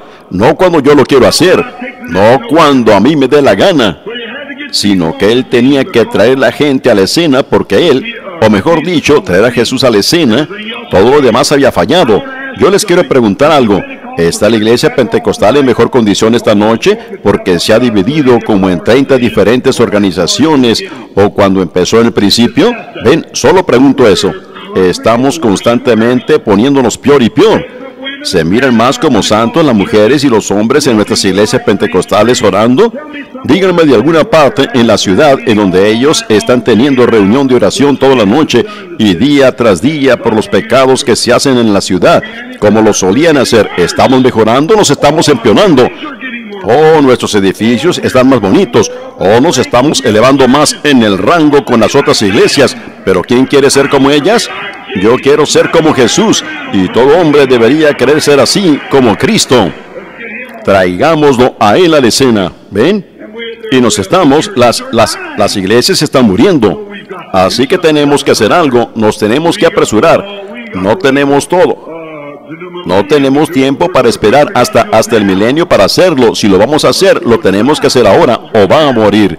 Algo va a suceder. Ahí va él. A mí no me importa, su carita estaba sonrojada, hermano. Cada vez que él daba un paso, él pensaba, yo estoy mejorando y mejorando todo el tiempo. Solo empiece y vea lo que sucede. Cuando menos pensó, dio la casualidad que miró al lado de la colina ¿Y qué estaba sucediendo? Una mujercita que él conocía, quizás una de su propia parroquia, estaba sentada arriba de la colina y él sabía que le había hablado ahí al respecto y ella había dicho abiertamente, ella había dicho en una ocasión quizás algo como esto, Jairo, ¿sabe qué? Yo creo que ese profeta allá es un hombre de Dios. Bueno, mi hermana, yo no, ¿cómo, cómo se siente usted tocante a ello? porque él tenía que tener cuidado para saber si ella solo era una trampa de algunos de los hombres del distrito. No, ustedes saben. Así que dijo, bueno, dijo, ¿lo ha oído usted a él alguna vez? Oh, sí, ocasionalmente yo lo he oído a él. Bueno, yo nunca lo he oído a él, pero yo he oído de él. Así que la fe es por el oír. Y déjeme decirle algo a usted. Yo creo que si, si usted consiguiera que alguien me llevara allá al otro lado del mar, en una barca o alguna parte, o a donde él esté, si yo únicamente pudiera tocarlo a él, yo sería sanada. Y ahí viene ella, pobre cara, largueruchita y pálida. Ella va caminando por la ribera. Mírenla a ella tambaleándose, deteniéndose en algo. Y todos ellos están allí diciendo, buenos días, reverendo. ¿Cómo le va a usted, doctor? Estoy contento de que esté usted aquí. Y Rabí, estoy contento de que esté aquí otra vez, mirándose uno al otro. Ustedes saben, Jairo estaba parado allí. Ustedes saben solo para esconder de los, los, ustedes saben, pues había mucha gente que creía en él. Así que tenía que vigilar. Ustedes saben lo que ellos decían. Así que él regresó después de un rato, esa mujercita, él, ella dijo, me ayudaría bondadoso Señor para llegar allá, me gustaría hablar con él. Oh, no escuche usted eso, nosotros solo estamos parados aquí, vamos a, nos estamos preparando para atraparlo, tenemos una trampa preparada para él esta mañana, verdaderamente lo vamos a atrapar esta mañana. Usted solo fíjese bien, ¿ve? Estamos, esa es la razón que lo estamos llamando, hola doctor, hola rabí, ¿ve? Tenemos una trampa preparada para él, lo vamos a perturbar esta mañana. Así que ese pues ellos dicen que Él conoce los secretos del corazón. La tenemos toda preparada para Él, igual que alguien me la tenía preparada para mí la otra noche y falló cuando el Espíritu Santo descendió. Yo no sé si ustedes lo notaron o no, pero de seguro hizo, fue un gran tropiezo para ese hombre. Y entonces cuando, cuando ellos, cuando menos se pensó, vino y dijo, Él se fue por allí, ella no podía llegar a Él. Así que ella se puso de manos y rodillas, se fue gateando entre los pies de ellos de esta manera hasta que ella se acercó. Y quizás Jairo, parado allí, la estaba observando al tocar ella el borde una mirada de complacencia vino a su rostro. Ella se regresó allá y Jairo estaba ahí parado observando eso. Ustedes saben, observando dijo, yo la vi y yo la conozco. Y ella se abrió paso allí y tocó el manto de él. Y ahora ella se regresó allá y ella parece que está complacida. Ella se mira como que eso. Ella me dijo en una ocasión que si ella únicamente no pudiera tocar a él, eso es lo que sucedería. Ella sanaría. Y yo sé que los doctores la desahuciaron hace mucho tiempo. Desde que ella empezó en la menopausia, con ese flujo de sangre, ella lo ha tenido por años y años. Y así que, pobre mujercita, siento lástima por ella. Su esposo vendió los caballos y todo y pagó la cuenta del doctor y ella no estaba mejor de lo que estaba. Ella, pobre mujercita, siento lástima por ella. Jesús se detuvo y miró alrededor. Dijo, ¿quién me tocó? Y él dijo, bueno, el apóstol dijo, bueno, todos te están tocando. ¿Por qué? ¿Por qué dices tal cosa como esa, rabí? O, o mejor dicho, Señor. Ella, él dijo, pero yo, yo me debilité. Yo, yo sentí que algo salió de mí, virtud salió de mí. Y él miró alrededor buscando a la mujercita y le dijo que su flujo de sangre se había detenido. Me imagino que eso animó a Jairo. ¿No piensan ustedes así? Inmediatamente él fue corriendo y dijo, Señor, mi niñita yace ahora a punto de muerte. Señor, Maestro. Oh, sí, Jesús estaba correcto. Él ya no era un fanático. Oh, no, no. Jairo tiene necesidad de él. Y ustedes quizá llamen a esto todo lo que ustedes quieran, pero uno de estos días, cuando estén en la cama enfermo, será diferente. Eso es correcto. No será un santo rodador, un montón de gente loca en ese momento, correcto. Oh, rabí, maestro, mi señor, mi niñita yace a punto de muerte. Si tú únicamente vas y pones tus manos sobre ella, ella, ella sanará. Todo estará bien. El doctor se fue hace como una hora. Rabí, yo, yo, yo, yo he renunciado todo. Yo, yo, ellos me van a echar fuera de la asociación y todo. Pero yo, yo, yo siempre he sido un creyente tuyo. Pero déjame decirte, algo sucedió de tal manera que sencillamente lo tuve que confesar. Así que aquí estoy, mi niña va a morir. Y si tú solamente vas y pones manos sobre ella, no morirá, ella vivirá. Jesús dijo, yo iré. Sí, yo iré contigo. Y él se fue con él. Y me puedo imaginar al sacerdote diciendo, ¿oíste? ¿Qué? ¿Y quién es ese? Bueno, ese es el doctor Jairo. ¿Qué cosa? ¿Se pudieran ustedes imaginar que es él? ¿Qué tocante a si es que la asociación no lo echará fuera? Oh, ahora sí le van a dar su merecido. Hermano, a la siguiente conferencia de seguro que ellos le van a dar duro. Vamos allá, hermanos, y veamos lo que el sacerdote principal va a decir, lo que ellos van a, cómo ellos lo excomulgarán. Bueno, a Jairo no le importaba, su hija se estaba muriendo y él tenía la, él tenía la atención de Jesús. Eso es todo lo que a él le importaba. Y mientras ustedes tengan la atención de él, ¿qué importa lo demás? Iban caminando de esa manera a medida que iban avanzando, ustedes saben. Y la mujercita estaba tan contenta porque Su flujo de sangre se había detenido y entonces cuando menos pensó, ahí venía un hombre bajando por la colina gritando, no molestes, da igual. Entonces vino el azote de la medianoche. Oh, hermanos, ese azote. Oye, Jairo, te dije que no fueras allá. ¿Ves? Ahí viene el presbítero y todos ellos. Tu niña murió hace como una hora. Te dije que los días de los milagros ya pasaron. Oh, hermanos, ese azote de medianoche. Ustedes saben, su corazoncito empezó a saltar. Él pensó, oh, oh, oh. Yo, yo le dije a él que si iba y ponía mi mano, sus manos, Miren, él tenía fe en las manos de Jesús, eso es, él era un judío. Miren, fue diferente con Pedro esa noche cuando él iba andando sobre el agua. Cuando él vio a Jesús andando y pensaba que era un fantasma, él dijo, Señor, si eres tú, manda que venga. La palabra fue, ven. Eso es correcto. Eso es correcto. Y el día cuando él estaba pescando, él pescó toda la noche y no había pescado ningún peso en absoluto. Él dijo, le dijo, ¿me presta tu barco un momento para predicar desde allá, Simón? Sí, bueno, él predicó desde ella por un rato. Dijo, mira, boga mar adentro y echad vuestras redes para pescar. Ven. Y él dijo, Señor, si tú pones tu mano sobre el agua, yo, yo, yo creo que tú puedes poner el pez allí. Toda la noche hemos estado trabajando y nada hemos pescado. No, no. Señor, toda la noche hemos estado trabajando y nada hemos pescado, mas en tu palabra echaré la red. Eso es, en tu palabra echaré la red porción sin grabar en la cinta. Ve al estanque de Siloé y, y lávate. Mire, ¿con qué debía contactar su fe? Iba a suceder tan pronto como él encontrara el estanque. Ven, si él podía. Bueno, ¿en qué dirección está el estanque del enviado? ¿En qué dirección está? Que alguien me ayude a llegar al estanque. Oh, ¿para qué quieres ir al estanque? Eso no le importe. Ayúdeme a llegar al estanque, porque yo sé lo que sucederá cuando llegue al estanque. Ayúdeme a alguien a llegar a la reunión. Bueno, ¿a dónde vas tú? Ustedes saben lo que quiero decir. Tú no soportarías, tú no irías allá con ese montón. ¿Irías? Bueno, solo ayúdeme a llegar allá. Eso es todo lo que quiero. Lléveme allá. Amén. Me gusta eso. Sí, Señor. Lléveme a donde un montón de gente a donde pueda ver la Biblia viviendo, a donde pueda ver a Cristo viviendo en la gente. Lléveme para estar entre ese grupo, ayúdeme a llegar al estanque del enviado. Y tan pronto como ellos dijeron, bueno, ya ha llegado. Una dama bondadosa o alguien más pasó por allí y lo tomó de la, de la mano y lo llevó al estanque. Le dijo, anciano, aquí está el estanque. ¿Qué es lo que quiere? Oh, yo acabo de recibir la palabra de Dios que me dijo que cuando me lavara yo vería. Yo, hermanos, oh, su vista vino a él. Luego él regresó regocijándose. Para él era el estanque. Pero cuando María esa mañana, cuando ella tenía que tomarla, ir y coger agua del pozo, y ella miró posada allí, y ahí estaba una gran luz brillante. Ella miró esa luz y había envuelto a un ángel que dijo que él era Gabriel. Dijo, el Espíritu Santo te cubrirá con su sombra y tú vas a dar a luz un hijo sin conocer hombre. Ella dijo, he aquí la sierva del Señor, hágase conmigo conforme a tu palabra. Eso es todo lo que ella quería. Ella no quería. Ella no dijo, espera, mira, cuando esté cubierta por su sombra y luego si siento vida, entonces puedo empezar a testificar. Cuando tenga como unos cuatro meses, ¿estará bien entonces testificar? Oh, ¿cuándo debería testificar de esto? Ella no preguntó nada, ella tenía la palabra de él y eso fue suficiente para ella. Ella empezó a testificar en ese momento y yo les estoy dando la palabra de él.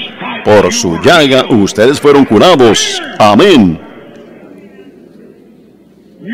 Ustedes que no tienen el Espíritu Santo, les estoy dando la palabra de Él. Pedro dijo en el día de Pentecostés, cuando los críticos estaban parados alrededor, Él dijo, arrepentíos y bautícese cada uno de vosotros en el nombre de Jesucristo para perdón de los pecados y recibiréis el don del Espíritu Santo. Porque para vosotros es la promesa y para vuestros hijos. Bueno, el, el obispo me dijo, el presbítero me dijo, el hombre de distrito me dijo, el pastor me dijo, esos días ya pasaron. A mí no me importa lo que ellos dijeron. La Biblia dice, porque para vosotros es la promesa y para vuestros hijos y para todos los que están lejos, para cuantos el Señor nuestro Dios llamare. Esa es su palabra, recíbanla. Él envió su palabra, eso es lo que se necesita, su palabra. Pero Jairo quería sus manos. Ustedes saben, yo pienso de Dios es un Dios bueno. Él, él se las arregla para que lo reciban de alguna manera. Ustedes saben, muchos de los discípulos creyeron tan pronto como oyeron la noticia que Jesús había resucitado de entre los muertos. Dijeron, alabado sea Dios, eso es bueno. Pero Tomás dijo, yo tengo que poner mis dedos en la señal de los clavos en su mano. Yo lo tengo, yo lo tengo que palpar. Yo, yo lo tengo que ver por mí mismo. Yo lo vi obrar en otros en las reuniones, pero tiene que obrar en mí. Oh, Tomás tiene muchos hijos, pero él, pero Dios es un Dios bueno. Él, lo hace obrar de alguna otra manera de todos modos. Él dijo, ven aquí, Tomás, pálpame. Ahora que obre en ti. ¿Crees, Tomás? Dijo, oh, sí, tú eres mi Señor. Yo lo creo ahora. Él dijo, ¿cuánto más grande la recompensa de aquellos que nunca vieron y sin embargo creen? Amén. Ellos creyeron la palabra de Dios. Eso es todo. Amén.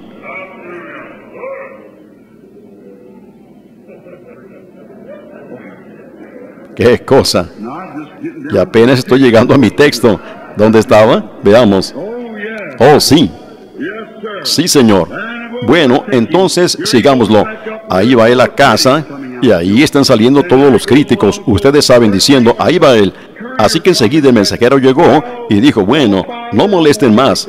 Dijo, él, él, la niña murió, está muerta, nosotros ya la atendimos allí y tiene las flores sobre ella y tiene la ropa para embalsamar, mejor dicho, los líquidos para embalsamar en ella y no hay necesidad de hacer algo más, la niña ya está muerta. El doctor regresó, fuimos y lo trajimos y él la pronunció muerta y él ya la acostó allí y está fría, ya se muerta en el sofá de la habitación y todos los lamentadores están alrededor y hay una lamentación allí. Tú nunca has oído algo semejante, así que Jesús iba caminando seguro. Oh, yo amo eso. ¿No se lo pudieron ustedes imaginar a él, hermanos? No lo perturbó a él ni una pizca. El corazoncito de Jairo estaba latiendo. Lo miró a él, Jesús, yo lo puedo ver a él, que dirigió su mirada a él y dijo, ¿no te dije, cree solamente? Oh, eso es lo que yo les digo a ustedes. Crean solamente la palabra de Dios si ustedes quieren ver la gloria de Dios. Crean solamente, no importa lo que alguien más diga, cuán enfermos ustedes estén, pero hermano Branham, el doctor dijo que yo iba a morir en unos cuantos días. Crea solamente. Él dijo que mi niña no se puede mejorar, pero crea solamente. Eso es todo. Crea solamente que Dios hizo la promesa. Yo nunca caminaré otra vez, hermano Branham. El doctor me dijo eso. Crea solamente, pues todo es posible para aquellos que creen. Crean solamente, crean solamente. Eso es todo lo que ustedes tienen que hacer. Crean solamente. No importa. Y luego, ¿cuál era la situación? Ya estaba muerta. ¿Ahora qué? Cree solamente. Hmm. Me siento religioso en estos momentos.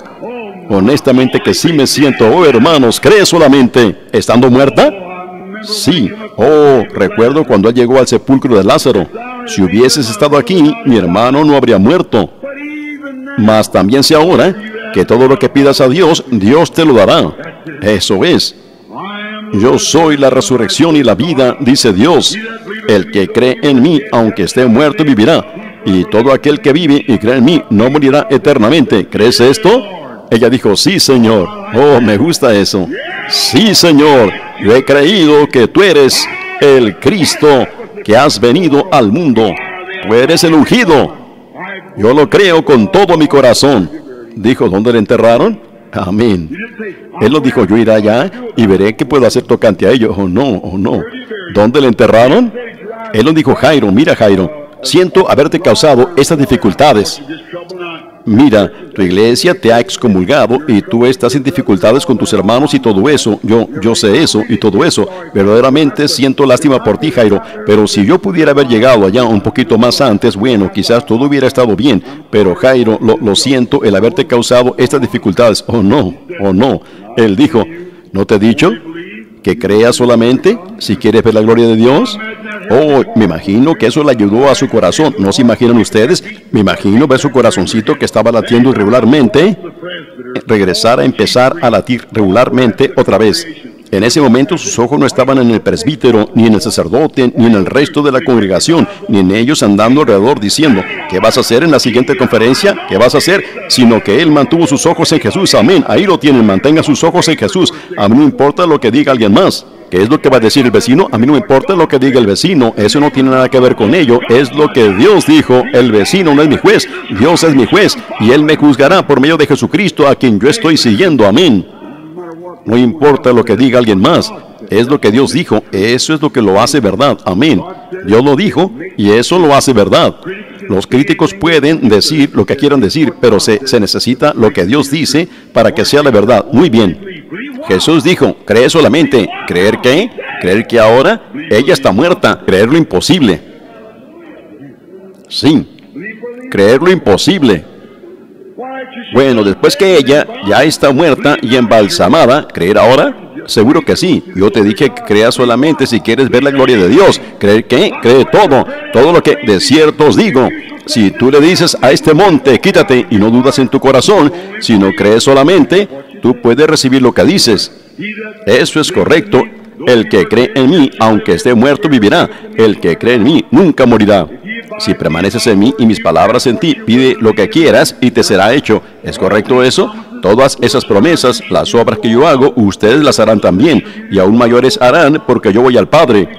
Todas esas promesas aquí, Jesucristo es el mismo ayer, hoy y por los siglos. El herido fue por nuestras rebeliones, herido fue por nuestras rebeliones, molido por nuestros pecados. El castigo de nuestra paz fue sobre él, y por su llaga fuimos nosotros curados. Crean solamente, crean solamente. Él viene pronto, él llamó a Abraham, lo justificó, lo santificó, lo llenó con el Espíritu Santo, lo colocó como un hijo. Él mismo se mostró vivo, volteando su espalda y hablando y diciendo lo que Sara dijo estando en la tienda y luego cambió su cuerpo y lo separó, le dio un hijo. Él ha hecho la misma cosa con la simiente de Abraham, todo excepto el cambio del cuerpo. La justificó, la santificó, la llenó con su espíritu, la posicionó como un hijo. Viene entre nosotros ahora mostrándose el mismo vivo y estamos esperando por el cambio del cuerpo que venga el rapto y nos lleve arriba a encontrarlo a él. Aquí está puntual, crean solamente.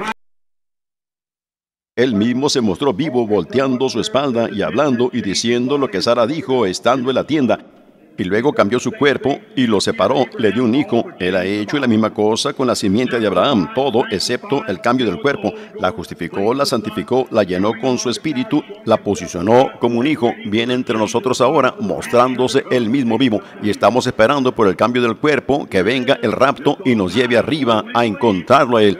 Aquí está puntual, crean solamente, solo continúen marchando hacia adelante. El gran reloj de Dios está sonando exactamente correcto. Oh, crean solamente. Seguro que sí. Así que Jesús finalmente llega a la casa. Todos allí estaban gritando, oh Señor, oh Señor, ¿por qué lo hiciste? ¿Por qué lo hiciste? Jesús entra calmado y tranquilo. Dijo, cálmense, estén en paz. La muchacha no está muerta. Ella únicamente duerme. Y entonces la Biblia dice que se burlaban de él. Dijeron, ustedes ahora saben qué clase de profeta él es cuando la hemos embalsamado y él dice, ella duerme. Se pudieran ustedes imaginar y la Biblia dice que se burlaban de él, avergonzándolo. Se burlaban de él. ¿Saben ustedes lo que él hizo cuando ellos se burlaron de su palabra? Él los echó fuera. Y eso es exactamente lo que nosotros haremos en el fin. Y ustedes críticos, eso es lo que les va a suceder a ustedes uno de estos días. Ustedes se burlan de su palabra y se burlan de sus obras. Ustedes dicen, esa gente que está hablando en lenguas y danzando en el espíritu son santos rodadores. Ustedes dicen, ellos son un montón de santos rodadores. Ustedes están burlando de su palabra porque esa es la palabra hecha carne humana aquí, morando entre nosotros. Algunos de ustedes predicadores allá diciendo que esto es telepatía o es el diablo o algo de esa índole. Algún día ustedes se tendrán que retractar de eso en su presencia. Él los echará fuera de su reino por eso. Eso es correcto. Él no permitirá que la gente se burle de él. Él los echará fuera otra vez. Él entró a la casa y los echó fuera a todos ellos. Todos los que se burlaron fueron echados fuera. La Biblia dice, si ustedes dijeran una, cuando Jesús se paró allí ese día y, y estaba discerniendo los espíritus, ese montón de sacerdotes dijo, bueno, ese es Belzebub, el adivinador. Cualquiera sabe que un adivinador es un demonio. Así que él dijo, ese es Belcebú, el adivinador, llamando la obra de Dios, obrando un espíritu inmundo. Jesús dijo, yo los perdono por eso, pero algún día el Espíritu Santo vendrá. Si entonces ustedes dijeran una palabra en contra de él, eso es todo lo que ustedes tienen que hacer, y no les será perdonado ni en este mundo ni en el otro mundo, ustedes también serán echados fuera. Así es cuán serio es. Ven, sí Señor, nunca les será perdonado ni en este siglo ni en el siglo venidero por blasfemar o hablar o llamar al Espíritu Santo una cosa inmunda. Él los echó fuera. ¿Ven ustedes lo que está sucediendo hoy? La misma cosa. uno ve en donde ellos están yendo, yendo al mundo espiritualmente. ¿Recuerdan ustedes la última plaga que azotó a Egipto? ¿Cuál fue la última plaga que azotó a Egipto? La cual fue un tipo de la iglesia saliendo fuera, fue muerte. ¿Cuál es la última plaga que azota a la iglesia pentecostal? Muerte espiritual va directamente de regreso como el resto del mundo, muerte espiritual. Pero el circuncidado, con la sangre en la puerta, emprendió la marcha hacia la tierra natal. Eso es exactamente correcto, con la columna de fuego yendo delante de ellos para guiarlos. Oh, estoy tan contento esta noche, estoy tan contento esta noche de saber que hay una circuncisión del corazón, que Dios cortará todo el mundo y todas las tradiciones de los hombres y todo lo demás, y podemos ver a Jesús y verlo a Él parado allí, la columna de fuego yendo por delante, haciendo las obras y haciendo exactamente lo que Dios dijo que haría, y produciendo una iglesia llena con el Espíritu Santo y haciendo las obras que Él dijo. Estoy muy contento esta noche que eso es, yo, yo estoy muy, yo soy la persona más feliz en este mundo debido a eso, porque Él lo prometió. Sí, Él los echó fuera porque se burlaron de la palabra, sí. Entonces Él los echó fuera a todos ellos y entonces Jesús estaba solo con, ¿quién? Con los quebrantados de corazón y con los fieles. Él trajo a Pedro, a Jacobo y a Juan, fe, esperanza y caridad. Los llevó dentro del edificio con él y echó fuera al resto de ellos. Entonces Jesús estaba solo con los creyentes quebrantados de corazón, llorando porque ellos eran, porque su niñita yacía allí muerta. La niñita yacía allí, un cadáver. Las flores estaban alrededor de ella. Echó fuera a todos los incrédulos lejos de él. De esa manera, oh, cuán difícil es cuando la incredulidad como anoche cuando estábamos aquí en la reunión, esa línea de incredulidad azotó este lugar y fue solo, fue terrible. Una de estas noches yo me voy a esforzar y exponer a esos hombres. Va a lastimar muchos sentimientos, pero es bueno. Yo solía hacer eso todo el tiempo y ustedes saben que lo hacía, pero yo, yo me he detenido de hacerlo solo debido a los sentimientos del pueblo, porque si uno arranca la, la cizaña, uno se lleva mucho trigo también. ¿Ven? Así que está ahora demasiado cerca el tiempo del fin, así que seguiremos adelante, solo continuaremos marchando, pero cuando eso, eso, eso impide a la gente, realmente impide a la gente que no puede tener fe, que no puede creer, ¿ven? Cuando algo de esa índole está sucediendo. Y así que entonces cuando Él sacó a todos, a todos, excepto su fe, esperanza y caridad, parados allí, Pedro, Jacobo y Juan, los fieles, y el verdadero creyente, el padre y madre, Él se dirigió hacia el cadáver. Oh, ¿Ven? Él no lo podía haber hecho con todos ellos parados allí diciendo, bueno, miren eso, es un profeta y dice que ella está dormida. Miren, les dije, les dije, les dije. ¿Ven cómo es? Miren, eso, eso no vale nada. Solo es un gran montón de emoción, excitación. Eso es todo lo que es. Jesús no podía hacer una sola cosa al respecto. Él no pudiera hacer una sola cosa al respecto esta noche. Cuando él fue a su propia región no hizo nada. No podía hacer muchas obras a causa de la incredulidad de ellos y comportándose ellos de esa manera, ni tampoco él las pudo hacer en aquel entonces y él no las puede hacer esta noche. Pero si él únicamente puede conseguir que sean echados fuera para que él pueda estar con los creyentes, entonces él se dirigió hacia el cadáver que yacía allí. La niñita estaba muerta, Tal vez estaba embalsamada y yacía allí. Se dirigió allá y la tomó a ella de la mano, miró hacia allá en el mundo del espacio, allá en alguna parte a donde su alma se había ido, y dijo, muchacha, levántate.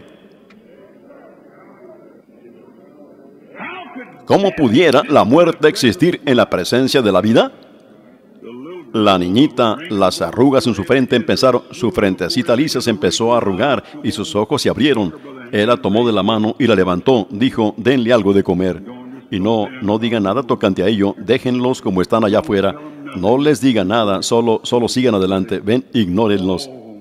Oh, hermanos, todo es posible. Crean solamente que era Él. Él era la palabra de Dios en carne. Y esta noche ellos son ese mismo Dios está, la misma palabra de Dios está en la carne de ustedes, si Cristo está allá adentro, y Él es el mismo Señor Jesús, ustedes pudieran tocar su manto o lo que ustedes desearan, si ustedes creyeran solamente que Él está aquí, Él hará la misma cosa por ustedes. ¿Lo creen ustedes? Inclinemos nuestros rostros solo un momento. Yo le voy a pedir al organista aquí, si por favor va al órgano y toca un momento. Quiero que usted toque solo creer.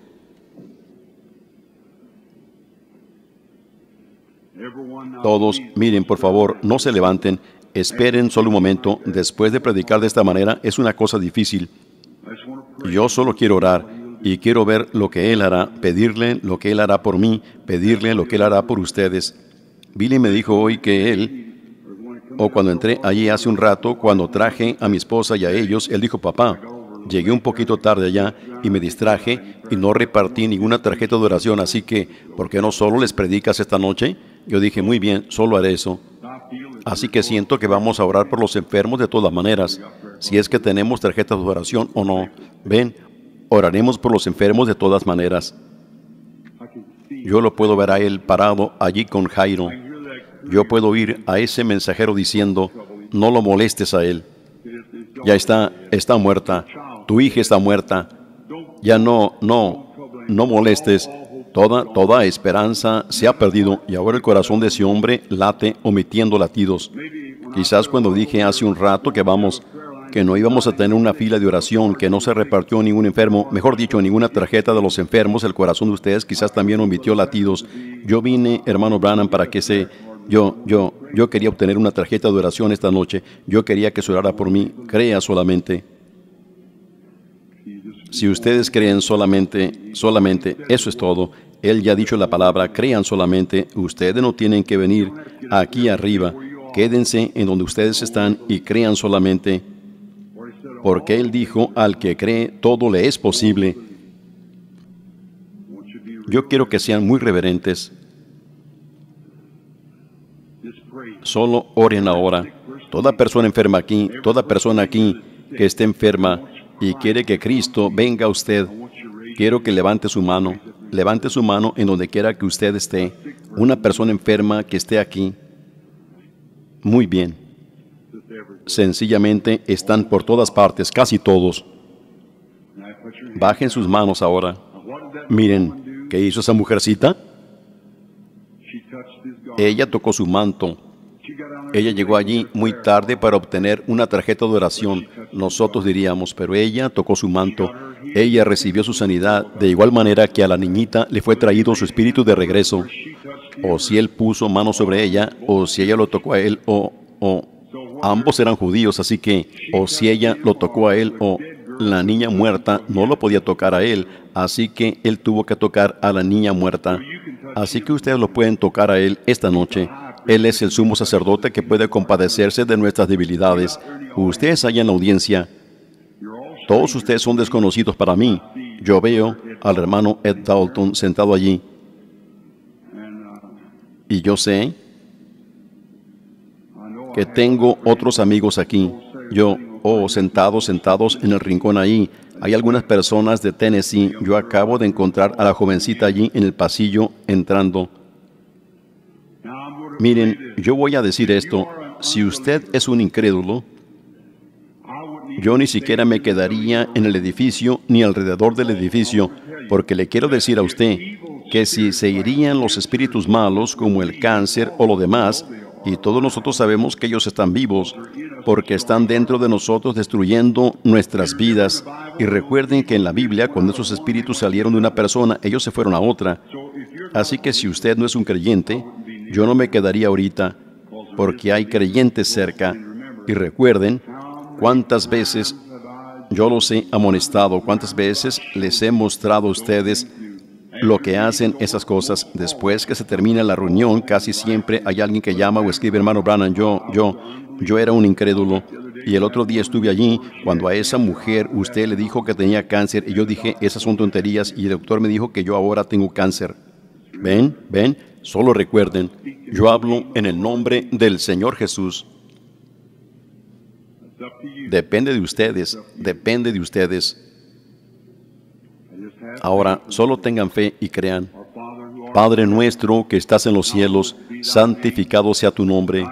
Venga tu reino, hágase tu voluntad como en el cielo, así también en la tierra. Bondadoso y eterno Dios, te pido esta noche que tú en esta audiencia Sencillamente amo hablar tocante a ti, Jesús. Tú eres mi, tú has sido mi vida por 31 años.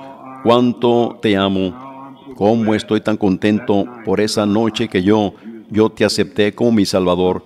Estoy tan feliz, tan contento que tú me hayas comisionado para ir a predicar el Evangelio Y entonces, esa noche, cuando tú me dijiste, ve, ora por los enfermos, y me dijiste que esas, esas visiones que habían estado viniendo no eran lo que mis hermanos me habían dicho que eran un espíritu malo, sino que eras tú, y que eso animaría a toda la nación, a todo el mundo, a entrar en un avivamiento y se ha hecho eso, Señor. Tus palabras son verdad. Y luego cuando tú estuviste allí, por arriba de mí, aquel día en el río, cuando esos miles de personas estaban paradas allí mirando a las dos de la tarde en esos cielos bronceados y esa gran luz estaba rugiendo por arriba, la voz diciendo, así como Juan el Bautista fue enviado, este mensaje será la segunda antes de la venida de Cristo. Y vemos, Señor, que ha hecho esa mismísima cosa y vemos el tiempo avanzando ahora. Todas tus palabras son verdad. Y ahora aquí estamos al fin del camino, aquí recogiendo las espigas por todos los campos, aquí recogiendo la última paja de este último avivamiento. Ahora, Padre, una vez más, estamos en esta gran encrucijada del mundo, aquí esta noche en Chicago, Illinois como la gente ha anhelado diciendo, oh, si pudiera ser sacudida, si pudiera ser sacudida. Oh Dios, esa ceniza atómica andando deprisa para todos lados allá en la calle, nunca será sacudida. Será sacudida con una bomba atómica, pero tu iglesia ha sido sacudida como nunca antes. Ha visto cosas que ya nunca vio y que ninguna iglesia antes vio. Desde que Cristo estuvo en la tierra ha sido sacudida, Señor. Tu pueblo verdadero ha creído con todo su corazón. Ahora es tiempo para que venga el cambio que la gran sequía azote a la tierra, la sequía espiritual, y luego la venida de Cristo. Te pido que tú concedas, Señor, esta noche una vez más para que el Evangelio, y quizás haya un desconocido entre nosotros, si esa persona está aquí esta noche y está fuera de la sangre, te pido Dios que algo se ha hecho, que tú hagas algo esta noche como lo hiciste allá en Emaús en aquel entonces y demuestres una señal a la gente igual que lo hiciste antes de tu crucifixión, para que ellos puedan saber que tú eres el mismo Jesús que ha resucitado de entre los muertos y está aquí esta noche. Yo mismo me encomiendo con el mensaje que salió a Cristo que está presente, al Dios Todopoderoso, para que continúe su servicio en el nombre de Jesús, que muchos sean ayudados. Amén.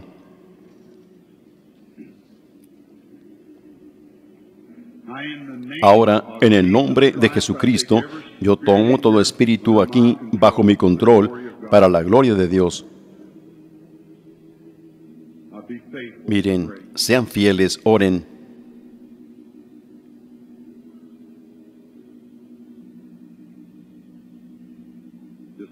Solo tengan fe. Miren, no vamos a llamar las tarjetas de oración aquí arriba porque yo no pienso que tengamos alguna aquí. Quizás haya una rezagada aquí y allá. Es muy tarde de todas maneras. Para cuando se forme la fila de oración sería muy tarde. Son las 10 ahora.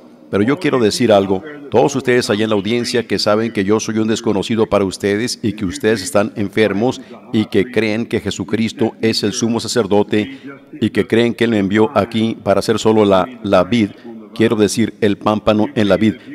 ¿Creen que si ustedes lo pudieran tocar a Él, Él hablaría por medio de mí y haría la misma obra? Levanten su mano. Ustedes saben que yo no los conozco. Gracias. Ahora miren en esta dirección. Un solo caso lo debía probar. Pero tengamos cuando menos tres de ellos. Yo quiero que ustedes crean con todo su corazón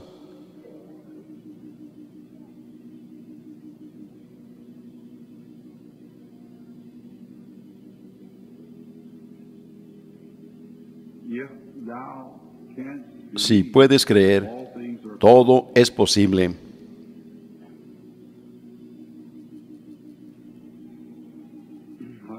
Yo no. Ustedes dicen, ¿en qué lado va a empezar, hermano? Yo no sé. Es el lado en el que Él empiece. Donde Él empiece, yo únicamente puedo actuar a medida que Él actúa.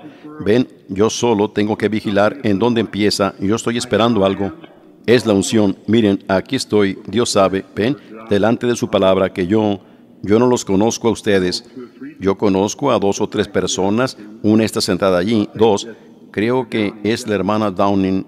¿Es correcto eso? Creo que es. ¿Ven? Yo conozco a ese hombre sentado allí. Mi hermano y hermana Dausch están allá en el rincón, dos sentados allá. Yo trataré de no dirigirme a ellos, aun si yo tendría, si Él se posara sobre ellos, yo les tendría que decir a ellos porque eso es todo lo que puedo decir. ¿Cuántos creen antes que algo suceda? ¿Creen que es verdad? Dios los bendiga. ¿Ves eso, Satanás? Tú eres un mentiroso.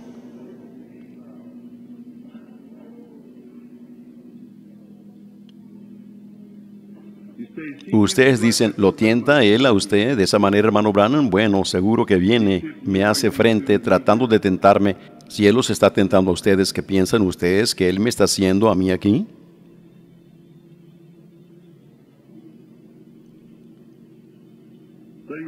Sentado allá atrás está un hombre orando por un niño, sentado allí a su lado.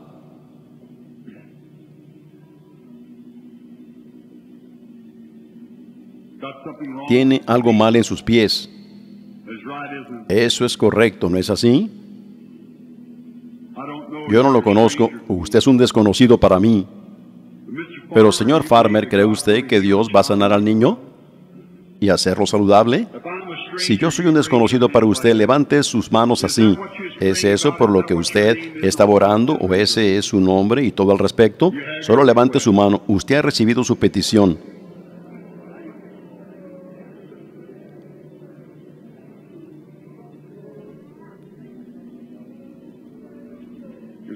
Hay una señora sentada aquí.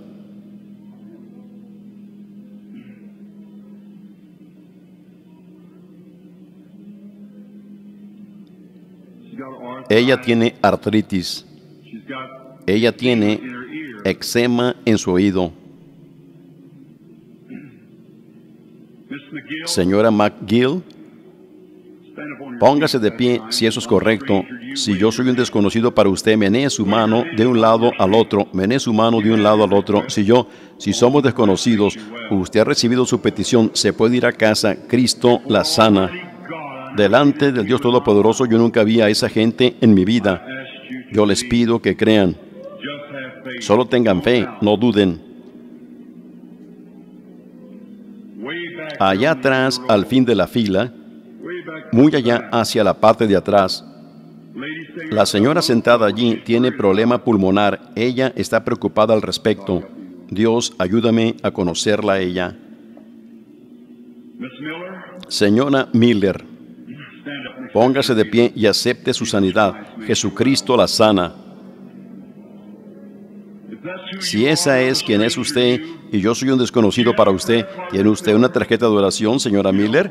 No tiene, usted no necesita una. Muy bien se puede ir a casa y ser sanada. Jesucristo la sana. Esa señora, la señora de color sentada justo detrás de ella, allá atrás en la en esta dirección mía, tiene un, un, tumor. Usted se está preparando para ir al hospital para una operación, o mejor dicho, ellos quieren que usted vaya. Es una señora pequeña, yo la puedo ver a ella entre dos hombres blancos. Póngase de pie, señora.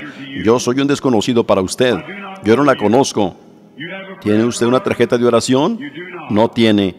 Yo nunca me he encontrado con usted en mi vida. Somos desconocidos uno del otro. Si eso es correcto, menee su mano de un lado al otro así. ¿Es la verdad lo que le dije a usted? Jesucristo la sana. Se puede ir a casa y reciba su sanidad. ¿Creen ustedes? Miren, observen ese espíritu demoníaco. Fue cruzando hasta el otro lado allí. Esa sombra está posada sobre esa mujer allí. Otra mujer de color sentada allí. ¿Tiene usted una tarjeta de oración, señora? No tiene. Usted no necesita una. Usted también tiene un tumor. ¿Quiere usted que le diga dónde está? En su hombro izquierdo hasta su costado y cadera. Eso es correcto. ¿Lo es? Crea con todo su corazón.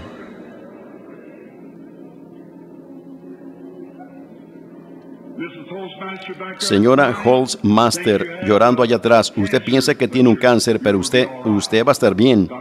Dios la bendiga, póngase de pie, yo no la conozco a usted. Usted le tiene miedo al cáncer, ¿no es así? Pero la dejó, todo está bien. Oiga, ¿me haría usted un favor, hermana? Usted a la que Dios le hizo un favor, somos desconocidos, ¿no es así? Ponga su mano sobre esa mujer que está detrás de usted, que se llama señora McAllister. Ella no me conoce, la señora McAllen, mejor dicho, ella tiene problema en su cabeza, pero la va a dejar y ella va a estar bien. Ella no oye muy bien, muy bien. Todo terminó ahora, señora McAllen. Usted también se puede ir a casa. ¿Cree usted que Jesucristo la sana ahora? Muy bien. Entonces se puede ir a casa, sea sana. ¿Cuántos creen en Él ahora? ¿Que Él es Jesucristo? Es tiempo de levantarse en la escena. Es tiempo de creer con todo su corazón. ¿Lo creen ustedes? ¿Cuántos lo aceptarán a Él ahora como su sanador? Él ha recorrido el edificio de punta a punta, de adentro a afuera, de delante a atrás. A los que estaban creyendo, ¿lo creen ustedes con toda su fe? Con toda su fe que pueden tener, pónganse de pie en el nombre de Jesucristo y reciban su sanidad. Levanten sus manos. Repitan lo que yo diga. Señor, yo creo que tú eres el Hijo de Dios. Yo renuncio a mi incredulidad. Yo te acepto como mi Salvador. Yo te acepto como mi sanador. Yo te acepto como mi Rey. Yo te creo ahora, Señor. De aquí en adelante, mi testimonio nunca será negativo. Yo te alabaré en el nombre de Jesucristo. Ahora levanten sus manos y alábenle a Él. Y todo terminó. Dios los bendiga. Los entrego al